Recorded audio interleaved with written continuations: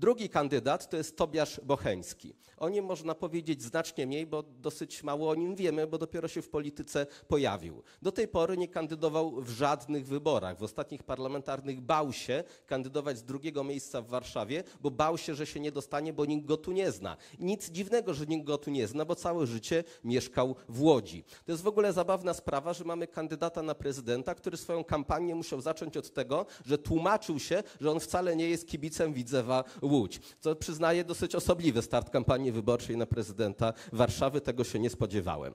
Chodzą głosy, że facet jest kandydatem na prezydenta Warszawy tylko po to, żeby go sprawdzić, czy nadaje się na prezydenta Polski. A czemu ma się nadawać na prezydenta Polski? Bo według Jarosława Kaczyńskiego przypomina hrabiego ze Znachora i to jest ktoś, na kogo według niego warto byłoby głosować. Taki amerykański, taki polityk, taki kongresmen, tak się wydawał, że wygląda według Kaczyńskiego.